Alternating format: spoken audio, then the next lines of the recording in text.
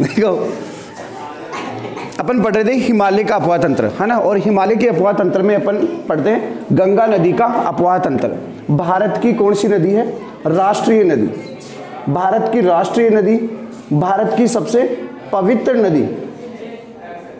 भारत में इसे राष्ट्रीय नदी कब घोषित किया गया था? 2008 में। 2008 में इसे राष्ट्रीय नदी घोषित किया गया था और इस गंगा नदी में जो डॉल्फिन मछली पाई जाती है, कौन सी मछली? डॉल्फिन मछली। उसे 2009 में राष्ट्रीय जलीय जीव घोषित किया गया। सही है? अब देखते हैं गंगा नदी के बारे में। भारत की सबसे ज़्यादा अपवाह तंत्र वाली नदी लगभग 6 लाख वर्ग किलोमीटर क्षेत्र है इसका अपवाह तंत्र के अंतर्गत, है ना? और कुल लंबाई कितनी है? 2525 किलोमीटर। 2225 किलोमीटर। देखो, शुरुआत करते हैं। गंगा नदी जो है, वो दो धाराओं से मिलकर बनती है। एक का नाम अलकनंदा और दूसरी का नाम भागीरथी।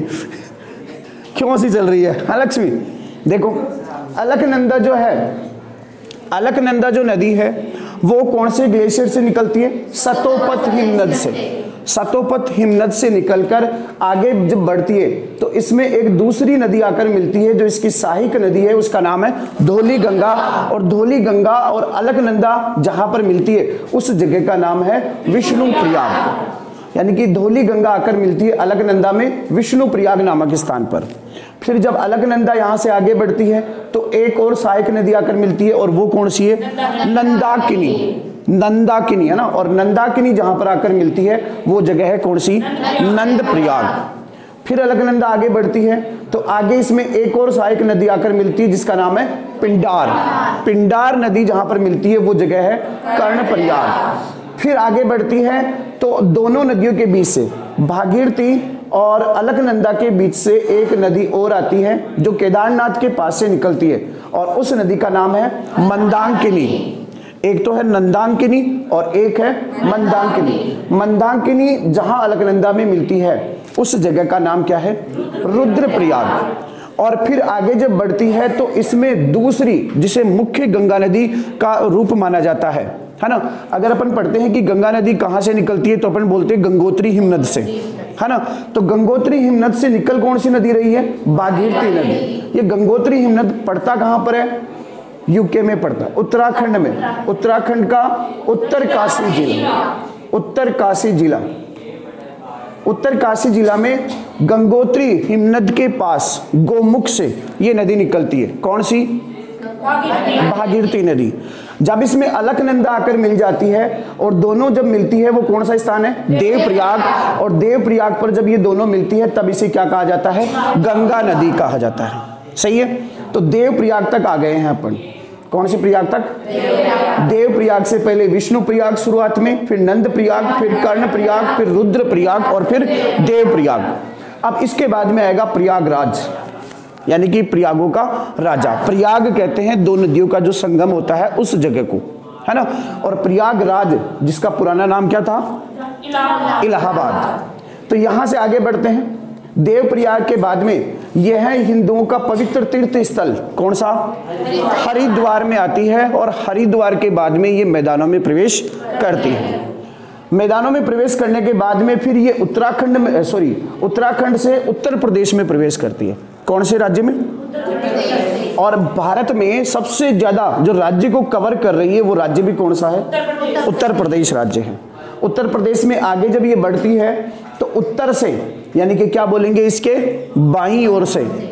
जिधर नदी का फ्लो होता है, मैंने बताया जिधर नदी का फ्लो होता है, उस नदी के अकॉर्डिंग अगर अपन चलेंगे तो अपना जो लेफ़्ट और राइट होगा, उसी के अकॉर्डिंग बाया क्या होगा? नदी कैसे बह रही है ये?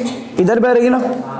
तो इधर बह रही है तो बाया कौन सा होगा जो ऊपर से आ रहा है और दाया कौन सा होगा जो नीचे से जा रहा है? तो बाई ओर से उत्तराखंड से एक नदी आकर मिलती है, जिसका नाम है राम गंगा और ये राम गंगा नदी आकर मिलती है कन्नौज में। और कन्नौज पड़ता है यूपी में यूपी में उत्तर प्रदेश में। अच्छा कन्नौज के बाद में फिर इसमें एक सहायक नदी आकर मिलती है, जो इसकी सबसे बड़ी सहायक नदी है, जिसका नाम क्या है? यमुना नदी। अच्छा यमुना नदी कहाँ से निकलती है? उत्तराखंड के बंदरपूछ पहाड़ी पर यमुनोत्री हिमनद से, यमुनोत्री हिमनद से निकलती है और यमुनोत्री हिमनद से जब ये आगे बढ़ती है, इस पे आगरा, मथुरा, वृंदावन, सभी जो नगर है, इस पे ही बसे हुए हैं। है ना?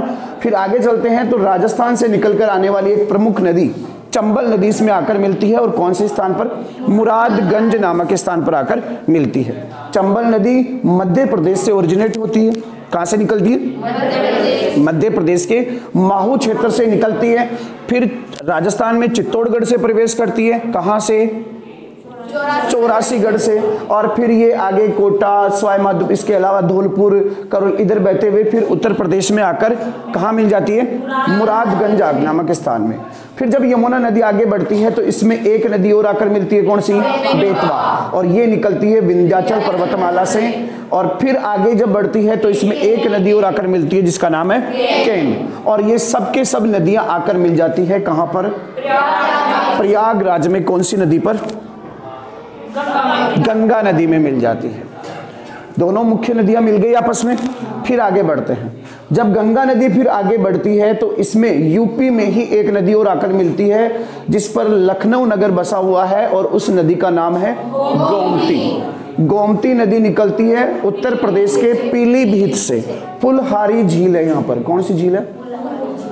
फुलहारी झील। फुलहारी झील से निकलती है गोमती नदी। यह उत्तर भारत की एक पहली नदी है जो मैदानी क्षेत्रों से निकलती है। बाकी सब पर्वतों से निकलती है। ये मैदानी क्षेत्रों से निकलती है। कौन सी? गोमती पर कौन सा नगर बसा हुआ है? लखनऊ बसा हुआ है। गोमती नदी आकर मिलती है गंगा में, यूपी में, गाजीपुर नामक स्थान पर। आगे चले। गोमती से जब आगे बढ़ते हैं तो ये फिर यूपी को क्रॉस करके किसमें आ जाती है? बिहार में भी इसमें प्रमुख रूप से एक, दो, तीन, चार नदियाँ आकर मिलती है। है ना? पहली जो नदी आती है वो कौन सी है? घाघरा। कौन सी?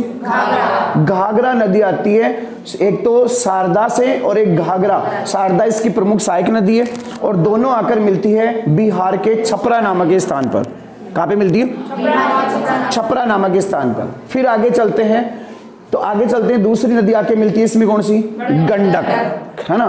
और गंडक नदी भी दो धाराओं से मिलकर बनती है, एक का नाम है काली गंडक और दूसरी का नाम है त्रिशूल गंगा। और गंडक का शाब्दिक अर्थ क्या होता है? कुत्ता। तो गंडक नदी आकर मिलती है कहाँ पर? सोनपुर में। सोनपुर कहाँ पड़ता है?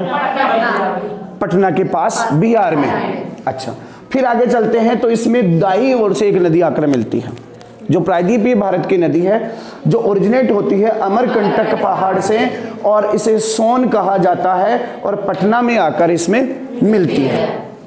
फिर आगे बढ़ती है गंगा नदी।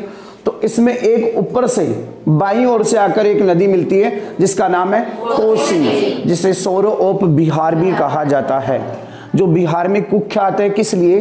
बाढ़ लाने के लिए। बाढ़ लाने के लिए बिहार में कुख्यात है कोसी नदी। और कोसी नदी आकर मिलती है कौन सी जगह पर?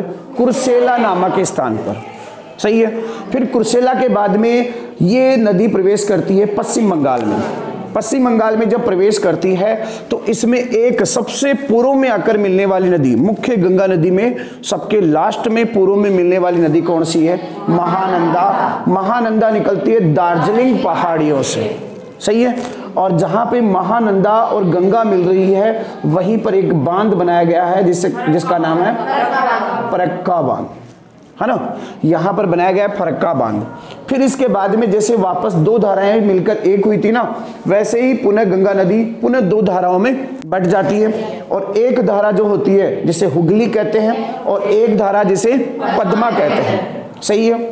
हुगली नदी में जो हुगली नदी कोलकाता से होकर कोलकाता इसके किनारे बसा हुआ है। मथुरा किसके किनारे था? आगरा। लखनऊ। कोटा। चंबल नदी के किनारे और हुगली नदी के किनारे कोलकाता। अच्छा दामोदर नदी यहाँ से निकलती है और यहाँ से निकलकर झारखंड से निकलने के बाद में फिर आके मिलती है हुगली नदी में। है ना? और हुगली नदी के साथ में फिर ये कहाँ चली जाती है? बंगाल की खाड़ी में। इधर से जो दूसरी धारा है, जिसे पद्मा कहा जाता है बांग्लादेश में, इस पद्मा में दो नदियाँ आकर मिलती है। एक का नाम है जमुना, जिसे भारत में कहते थे अपन ब्रह्मपुत्र। और दूसरी है कौन सी? मेघना। ये दोनों जाकर इसमें मिलती है और फिर लास्ट में ये कहाँ गिरती है? बंगाल की खाड़ी ये है भारत की सबसे लंबी नदी।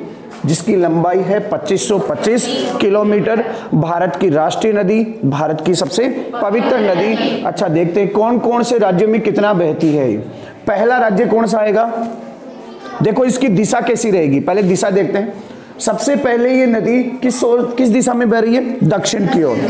फिर इसने किधर टर्न लिया? दक्षिणी पूर्व की ओर। देखो, यहाँ पे कौन सा दिशा बन रही है? दक्षिण पूर्व दिशा बन रही है। है ना? फिर ये पूर्ववर्ती हो गई। पूर्व की तरफ़ बह रही है और फिर लास्ट में दक्षिण की ओर बह रही है। यही करना पहले दक्षिण, फिर दक्षिणी पूर्वी, फिर पूर्व और फिर लास्ट में दक्षिण। और फिर विश्व का सबसे बड़ा डेल्टा बनाते हुए बंगाल की खाड़ी में गिर जाती है। कौन सा है विश्व का सबसे बड़ा डेल्टा? क्यों है इसका नाम सुंदरवन? क्योंकि यहाँ पर सुंदरी नामक वृक्ष पाए जाते हैं, इसलिए इसका नाम क्या है? सुंदरवन का डेल्टा। अच्छा अब देखते हैं कौन से राज्य में कितना बहती है। पहला आता है आपका कौन सा? यूके, उत्तराखंड। उत्तराखंड में कितने किलोमीटर बहती है? 110 किलोमीटर बहती है। उत्तराखंड में 110 किलोमीटर दूरी तय करती है, फिर इसके बाद में आता है यूपी। यूपी में सबसे ज़्यादा कितनी? पचास है क्या? एक हज़ार चार सौ पचास किलोमीटर। फिर इसके बाद में आता है बिहार। बिहार में कितनी बहती है? चार सौ पैंतालीस किलोमीटर। और फिर इसके बाद में आता है पश्चिम बंगाल। पश्चिम बंगाल में बहती है 520 किलोमीटर। तो सबसे ज़्यादा कौन से राज्य में बह रही है? उत्तर प्रदेश में। और सबसे कम उत्तराखंड में। सबसे कम कहाँ बह रही है? उत्तराखंड में। तो यहाँ वाला ये समझ में आ गया कि यहाँ तक का जो था। मुख्य दो धाराएँ थी, एक का नाम था अलकनंदा और दूसरी का नाम था भागीरथी। अलकनंदा निकल रही थी सतोपथ हिमनद से और भागीरथी निकल रही थी गंगोत्री हिमनद से। क्लियर है? फिर दोनों ये चलकर आगे बढ़ी। इसमें पहले कौन सी आई? राम, गंगा, फिर इधर दक्षिण से कौन सी आई? यमुना, फिर आई गोमती, फिर आई घाघरा, फिर गंडक, कोसी, सोन, फिर महानदा, इधर नीचे दामोदर, इधर जमुना और पद्मा और लास्ट में बंगाल की खाड़ी। तो ये है गंगा नदी का अपवाह तंत्र। इसमें प्रमुख रूप से देखो, यहाँ पर एक फरक्का योजना चलाई गई है।